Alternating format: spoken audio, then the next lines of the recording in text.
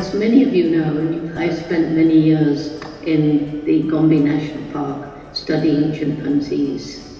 And at, the same time, as I was watching about the chimps, I was learning about the amazing forest ecosystem, how every plant and animal has a role to play, how they form an interconnected, beautiful tapestry of life.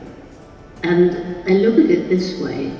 This tapestry is made up of all these different threads of animals and plants crossing over. But every time an animal or a plant disappears, we pull a thread from that tapestry but my main reason for hope is the young people. Thank you.